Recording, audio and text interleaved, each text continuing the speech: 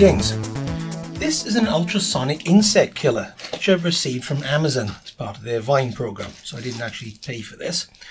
If you look it up on Amazon, it's got a lot of very favourable reviews, but when you go through those reviews, you see that the older ones are actually for a filter for a Breville espresso machine. So they've completely rewritten the listing to make use of any positive reviews that they already had for peddling this thing. So in the box, it is a plug-in device, as you can see, and straight away, see this is going to get a one-star review from me because of the construction of the of the plug. Um, for those of you not in the UK, this is what a normal mains plug will look like for the UK with the shrouded pins, not a shrouded earth pin, and the earth pin is bigger than the rest. You can see where these, although the earth pin is longer than the rest, it's actually not the correct thickness. And the pins are also all angled. They're supposed to be all straight. So straight away, that's getting a one star review from me. Let's plug it in and it's got three indicators here. There's, just about see those. If I knock the big light off.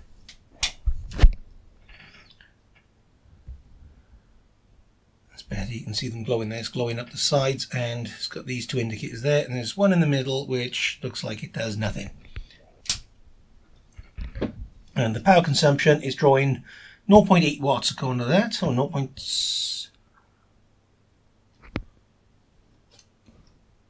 Yeah, 0.8 watts. Looks like 0.6 on the screen there. But it's actually a bit of crud on this on there. And the current consumption is what's that 15 milliamps. So obviously power factor is incredibly low on this. Uh, I can't hear anything from this. I don't know if the microphones are picking up anything from this. I might have to re-record all the audio now I don't know. But anyway let's take that and crack it open. There are no Oh, there might be a screw in there. Let's have a look. See, does it actually screw open? Yes, it does. It's got a small Phillips screwdriver in there.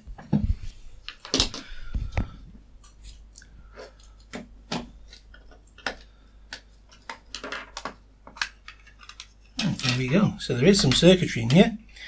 Uh, there's no connection to the earth pin, which I didn't really think it would need one, uh, but it is still the wrong size. It's the wrong construction for the UK. And we do actually have a transducer.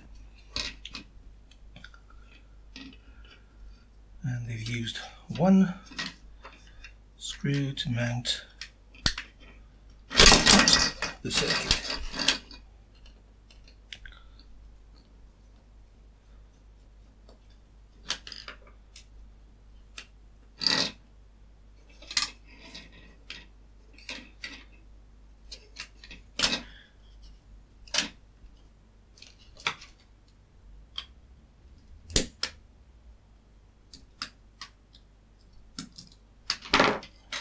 out because I will not be using it. Ah, there's a button. I didn't even notice there was a button. What's that button for then?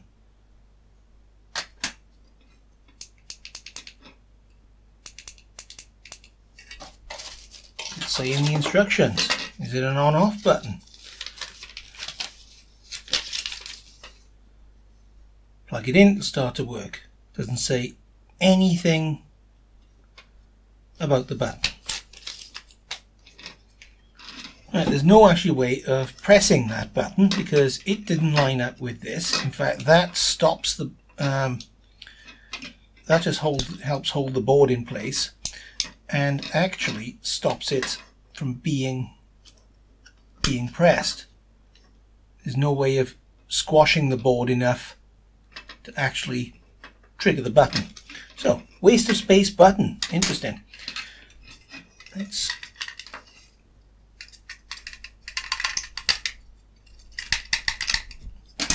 Take it apart and let's let's see um, what's inside. Well, we can see what's inside. Let's uh, let's trace this out. Here's a nice close-up of the board. And you can see that this is actually designed to take either the surface mount version of that chip or a through-hole version. And here's the schematic, which was pretty easy to work out. Didn't take me too long. As you can see over on the left, there's a capacitive dropper with a discharge resistor across it. There's also a 100 ohm resistor in series with the neutral line, so there's additional current limiting there. then that just feeds into a bridge rectifier. That's then got two capacitors, one electrolytic, one little surface mount ceramic, and a Zener diode, which is limiting the voltage to probably around about the 5 volt mark. We'll find out soon. That's then feeding a chip which, given its pin out, it looks to me like it could well be a PIC. PICs certainly have the, uh, the voltage and ground connections that way round on pins 1 and 8. And that's just got one connection which is doing the LED, one connection doing the oscillator circuit with the, with the piezo buzzer, and whatever that switch is for. As you can see from this, there's not a lot to the, the low voltage side, so I should be able to just power this up just off a bench power supply. If I ignore the AC input and just put a supply straight on the output of that bridge rectifier, you should get it going and be able to measure what that uh, what that buzzer's doing. Let's have a go. Right, now off camera I did manage to get this to illuminate and then I took the power supply up a little bit too high and it decided to just go out. So something's been smoked out on this now. Um, possibly the PIC, possibly the um, the Zener. I don't know, but it's not uh, it's not a happy bunny now. I'll try breaking off that uh, that Zener because it's not actually needed anymore. In fact, let's try powering it off. Back on and just see if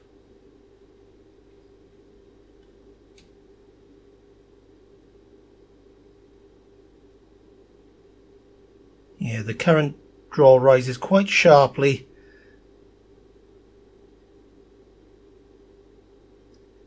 Up to about 2.3 volts and it's it's not doing anything anymore. So um,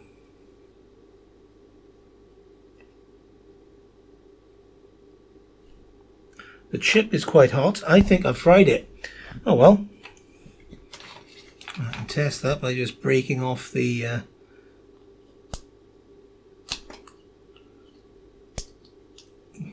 Zener.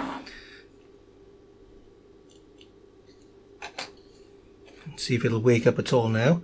Um, let's take the current right down.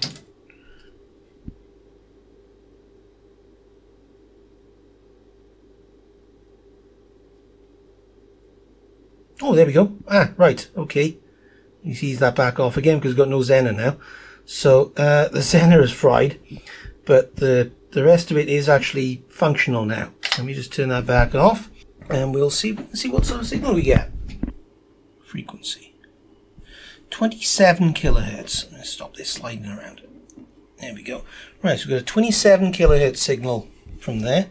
So that explains why I couldn't hear it, but uh, what's the box say?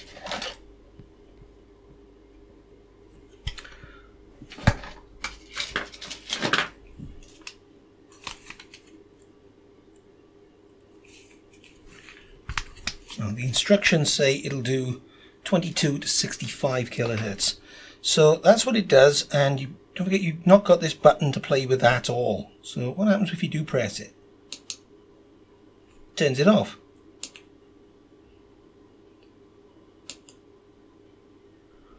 I think that's a bit of a self-destruct button, really, or at least it is when you haven't got the rest of the the, um, the stuff in there.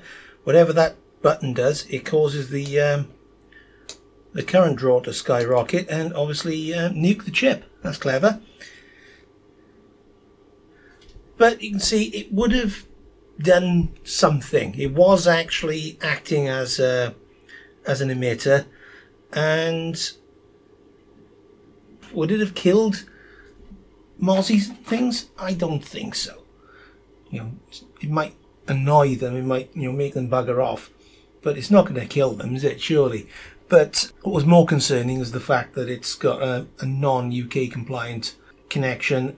So uh, it's getting a one star review anyway, as I said earlier.